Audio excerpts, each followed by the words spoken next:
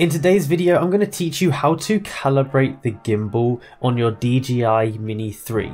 Now this tutorial is going to be super easy to follow, super simple, but make sure you stick around the whole way to ensure you don't miss out on any steps. Please like, subscribe and also comment down below if you find this video helpful so that other people can watch this video and get the same advice. This tutorial will actually work for any of the DJI drones, but I'm going to be using the DJI Mini 3 in specific because that's what I have. So the first step of calibrating the gimbal is you need to have everything set up. So you need to have the drone, the controller, and your phone or the screen connected all up. So I'm going to connect all of these up now and change view so you can see what my phone screen sees. So here I am on my phone and I'm actually going to select the DJI Mini 3 as that's what I have and I'm going to connect it up to my device. So you can't see what I'm doing here but if you want to actually find out how you can connect your drone then I'll have another video on that on the channel. Now as you can see here I have the drone turned on. You can see me in the camera of the drone.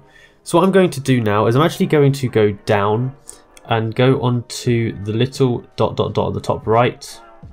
And I'm going to go over to this thing that says control. So I'll click that here.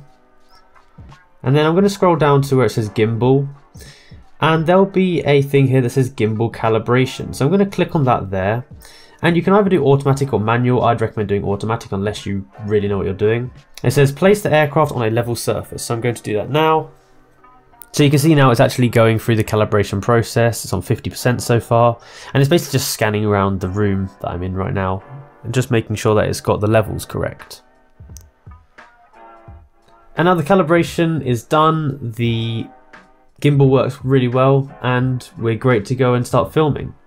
So if you found this video useful and it helped you to calibrate your gimbal, then please comment it down below. And also like and subscribe so that you can get more content.